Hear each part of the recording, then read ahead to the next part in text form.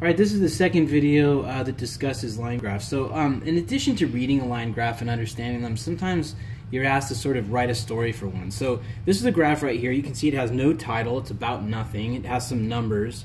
Um, so we have to come up with something. So I'm going to come up with a sort of a changing rate story for this, and then I'm going to come up with a changing total story for this.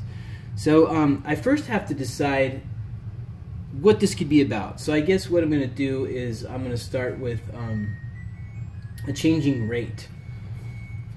All right, so let's see. I've got, first I have to look at the numbers here. So I got 15. It looks like they're starting at 30. So uh, let me see. You know what I'm going to do? I'm going to say this is a problem about the number of burritos somebody can make. Okay, yeah, a guy has a burrito truck. Uh, these are the number of burritos that he's going to make. So what happened was this person looks like they came in right before the lunch rush. So this these, these could be like the, I could call the uh, horizontal axis here. I could say, well, these are the number of hours the person's at work, and then this over here could represent the uh, how fast they're making burritos. So right comes in right at lunch, making about 30 burritos an hour and then it looks like they're getting busier and busier, so they're speeding up. They're making 45 burritos an hour for about an hour here. And it looks like, you know, the lunch rush is gone, so they're kind of slowing their rate down.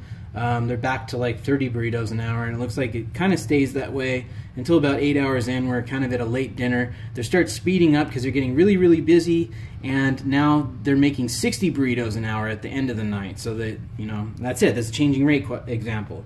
Um, now I have to see if I can invent something for a for a changing total. So um, I think what I'll do is I'll say that um, you know I, I don't want to do distance. That's usually what people always do. Um, I can't really say it's a it's something like a piggy bank. So a lot of times what will happen is kids will make up a story. They'll say, "Oh, this is the amount of money in a piggy bank," but you got to be careful about things like that because that doesn't make any sense.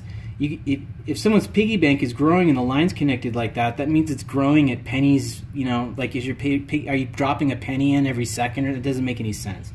So um, I know what I'm going to do. I'm going to say that this is the water level. So this is the water level in maybe centimeters or something um, for a fish pond. And then um, I could say that, that these are the, the number of days. So these are 11 days of the water level in a fish pond.